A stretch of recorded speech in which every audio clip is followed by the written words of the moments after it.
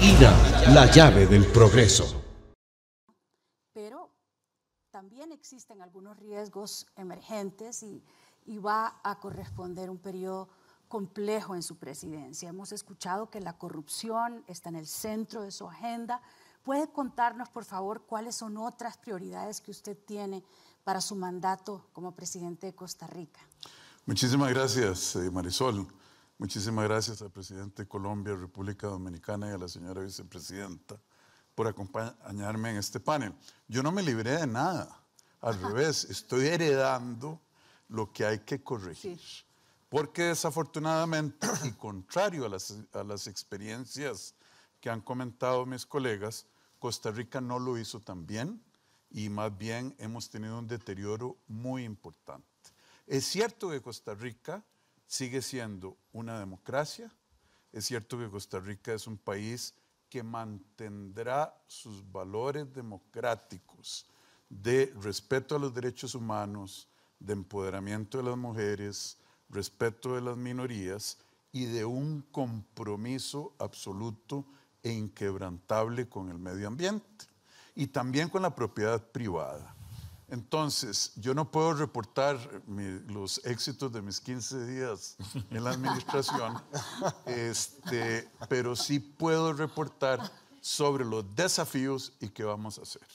Primero, el país necesita, para mantener esa cohesión social, esa paz que hemos tenido, no solo para los costarricenses, nosotros somos un magneto de gente de otros países que viene buscando mejor vida y eso no es barato.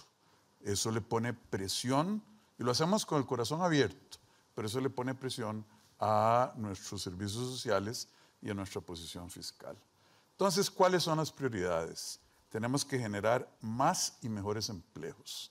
Y eso pasa por dar un golpe de confianza al sector privado en Costa Rica la dicotomía que habíamos venido, la, falta, la falsa dicotomía que habíamos venido oyendo por años, es sector privado o sector público. No, no ha habido un país en la historia del mundo que haya logrado prosperidad solo con el sector privado o solo con el Estado. Son las dos hojas de una tijera. El Estado sirviendo a un sector empresarial vibrante, productivo, que no corrompa y un Estado que no se corrompa. Esa es la receta que estamos haciendo y en eso hemos invertido muchísimo en estos primeros días. Ya hemos presentado leyes como de testigo de la corona, dando premios a quien denuncie, premios económicos, a quien denuncie actos de corrupción, etc. Tenemos que mejorar nuestra situación fiscal, no se puede construir, el presidente Duque mencionó, vivienda con tasas al 12% de interés real en dólares. Carísimo y con un descalce financiero muy peligroso para el deudor y para el intermediario financiero. Entonces, ahí estamos trabajando. De hecho, hemos hablado con muchísimos inversionistas hoy eh, y les hemos dicho, no red tape, red carpet. Costa Rica is open for business. Y yo soy el que les va a romper todos los cuellos de botella, voy a romper las cadenas, vamos a abrir las puertas. Vengan a invertir en Costa Rica y van a encontrar un ambiente renovado de apoyo, siempre con responsabilidad social. Definitivamente. Se nos ha echado a perder muchísimo también la distribución del ingreso. Costa Rica era el país más igualitario en la distribución del ingreso junto con Uruguay por generaciones. Eso no ha funcionado. Y, no y, se nos ha deteriorado. ¿Por qué? Porque nuestro sistema tributario, en lugar de mejorar la distribución del ingreso, la empeora. La calidad de los servicios públicos, y ese es un compromiso que los costarricenses tenemos. Uno puede debatir si la distribución del ingreso es buena o mala, si lima los, los incentivos, etc.